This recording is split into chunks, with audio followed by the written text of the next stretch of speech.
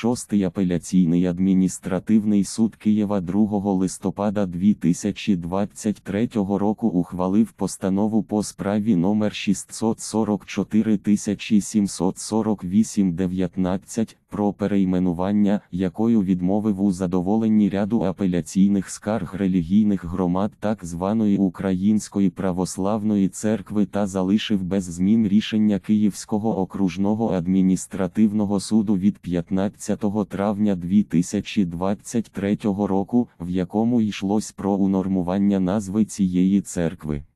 Постанова суду апеляційної інстанції може бути оскаржена Українською православною церквою Московського патріархату, філією Рашистської православної церкви в Україні протягом 30 днів шляхом подачі касаційної скарги безпосередньо до Верховного суду України. The Appeals Administrative Court of Kiev rejected the claims of the Ukrainian subsidiary of the Russian Orthodox Church against the Ministry of Culture of Ukraine.